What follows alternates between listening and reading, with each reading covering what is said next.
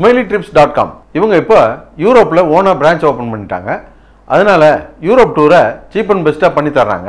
இது மட்டும் இல்லாமல் இந்தியா மற்றும் உலகமெங்கும் இவங்க ஃப்ரான்ச்சைஸ் பிஸ்னஸ் பார்ட்னர்ஷிப் தர்றாங்க. இது மூலமாக நீங்கள் குறைந்த முதலீட்டில் அதிக லாபம் சம்பாதிக்கலாம். மேலும் விவரங்களுக்கு திரையில் தெரிகிற எண்ணுக்கு ஃபோன் பண்ணுங்கள் அல்லது வாட்ஸ்அப் பண்ணுங்கள் இன்றைக்கி நம்ம திரைவம்ச நிகழ்ச்சியில் இயக்குனர் அருண் மாதேஸ்வரன் இயக்கத்தில் வெளியே வந்திருக்கிற சாணி காகிதம் படத்தை பற்றி பார்க்க போகிறோம் சாணி காகிதம். இந்த படத்துடைய கதையை பற்றி பார்த்தோம்னா இது வழக்கமான ஒரு பழிவாங்கிற கதை தான். பழிவாங்கிற கதைனாலே வழக்கமாக தான் இருக்கும். அதில் வித்தியாசமாக என்ன பண்ண முடியும் அப்படின்னா எப்படியெல்லாம் வித்தியாச வித்தியாசமாக பழி வாங்கினாங்க அப்படிங்கிறத மட்டும்தான் பண்ண முடியும். அந்த மாதிரி இதில் வித்தியாசமாக ஏதாவது பண்ணாங்களா அப்படின்னா அதுதான் இல்லை. இந்த படத்துடைய டைரக்டர் உலகத்தில் இருக்க சினிமாவெல்லாம் பார்த்துவிட்டு குழம்பி போய் தன்னைத்தானே ஒரு உலக சினிமா டைரக்டர்னு கற்பனை பண்ணிக்கிட்டு இந்த படத்தை எடுத்துகிட்டு போட்டிருக்கு. இந்த மாதிரி ஒரு பெண் பழி வாங்குறா அப்படிங்கிற கதை அப்படின்னு யோசிச்ச உடனே எல்லாருக்குமே ஞாபகம் வருது குவிண்டின் டொரண்டினுடைய கில்பில் தான் எல்லாருக்கும் ஞாபகத்துக்கு வரும். அந்த படத்துலையும் இந்த மாதிரி தான் சாப்டர் சாப்டராக போகும். அந்த படத்து ஹீரோயின் பழி வாங்குறா அப்படின்ன உடனே அந்த பழி வாங்குறதுக்கு முன்னே அவங்க எந்த வகையான பயிற்சி எடுத்துகிட்டு வந்து இந்த அளவுக்கு பழி வாங்கினாங்க அப்படிங்கிறதுக்கு ஒரு சீன் இருக்கும். ஆனால் இந்த படத்தில் அப்படி எந்த ஒரு சீனுமே இருக்காது. அதே போல் I spit on your grave அப்படிங்கிற படம் அது இந்தியாவிலலாம் ரிலீஸ் பண்ணக்கூடாது அதை தடை செஞ்சணும்னு சொல்லிட்டு தடை செஞ்சு வச்சுருந்தாங்க. ரொம்ப நாள் போராட்டத்துக்கு பின்னால் தான் அந்த படம் இந்தியாவுக்குள்ளே வந்துச்சு. அந்த அளவுக்கு அந்த டைமில் அது ஒரு வயலன்ஸான ஒரு படம்னு சொல்லலாம். அந்த படத்தில் பார்த்தீங்கன்னா தன்னால் ஏழனாலும் அந்த பொண்ணு வந்து தன்னோட பலசாலிகளான இந்த ஆம்பளைங்களை எப்படி பழிவாங்கினா அப்படிங்கிற ஒரு கதையாக இருக்கும். அப்படியான கதையாக இது அப்படின்னா அந்த வகையிலையும் இல்லை. இந்த படத்தில் இந்த பொண்ணு பழிவாங்க போகும்போதெல்லாம் அந்த வில்லனுங்களை எந்த அளவுக்கு வித்தியாசமாக தேடி கண்டுபிடிச்சி கொண்டாங்க அப்படிங்கிறதெல்லாம் சீனே கிடையாது. இந்த வில்லனுங்கள்லாம் வந்து காத்துக்கிட்டு உட்காந்துருப்பாங்க என்னமோ கொல்றேன் நீங்கள் வாங்க கொண்டுட்டு போங்கன்ற மாதிரி காத்துக்கிட்டு உட்காந்துருப்பாங்க இவங்களும் போய் கொண்டுட்டு கிளம்பி வந்துடுவாங்க ஒவ்வொரு சீன்லேயும் கொலை பண்ணுற சீன் இப்படி தான் இருக்குது பழி வாங்குற சீனு. அதே போல் இந்த கடைசியிலலாம் பார்த்தீங்கன்னா ஒரு பகையாளி அவர் தேட்டரில் உட்காந்து படம் பார்த்துக்கிட்டு இருப்பார். அவரை கொல்ல வர்றாங்கன்னு தெரிஞ்சும் கூட அவர் படம் பார்த்துக்கிட்டு தான் உட்காந்துருப்பார் அவருக்கு மேலே பின்னால் அந்த பேக் ப்ரொஜெக்ஷனில் லைட் அடிச்சுக்கிட்டு இருக்கோம். அந்த ஷார்ட் பியூட்டிக்காக அவர் அங்கே உட்கார வச்சுட்டாங்களான்னு தெரியல.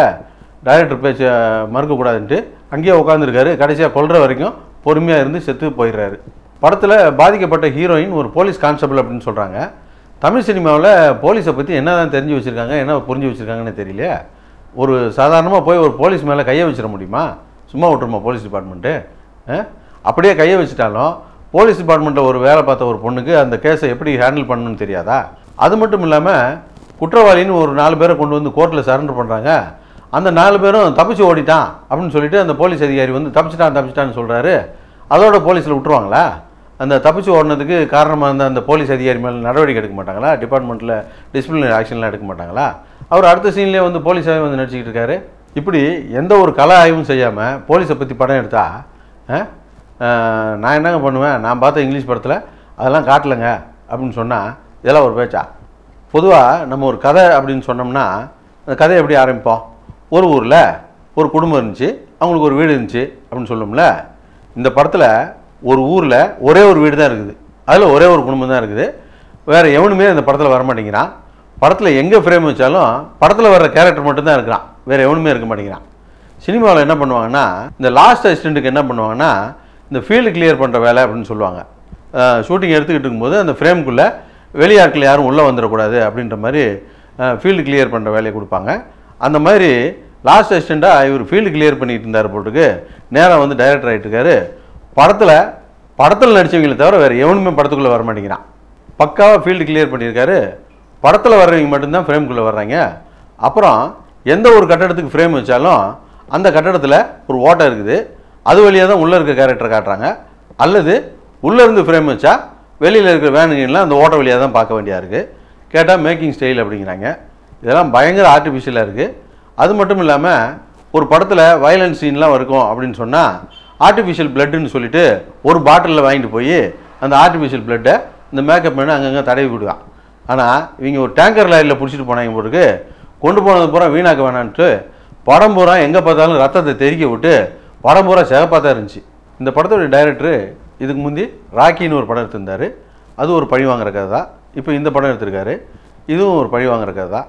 இந்த ரெண்டு படத்துக்கு என்ன வித்தியாசம் அப்படின்னு கேட்டால் அது மேல் வெர்ஷன் இது ஃபீமேல் வெர்ஷன் இதுதான் வித்தியாசம். மொத்தத்தில் இந்த படம் எப்படி இருக்குது அப்படின்னு கேட்டிங்கன்னா படம் முழுக்க பயங்கர வயலன்ஸ் இருக்குது. வாயை திறந்தால் பீப் சவுண்டு தான் வந்துக்கிட்டு இருக்குது. இருந்தாலும் இந்த படத்தை ரொம்ப போர் படம் அப்படின்னு சொல்ல முடியல. இந்த படத்தை நீங்கள் பார்க்கணும் அப்படின்னு சொன்னால் குடும்பத்தோடு உட்காந்து பார்க்க முடியாது. தேட்டரில் போய் பார்க்கலாம் அப்படின்னு சொன்னால் இந்த படம் தேட்டர்லேயும் இல்லை. இந்த படத்தில் கிளைமேக்ஸில் ஒருத்தன் தனியாக உட்காந்து படம் பார்த்துக்கிட்டு பாருங்க அந்த மாதிரி தான் நீங்கள் பார்க்கணும்.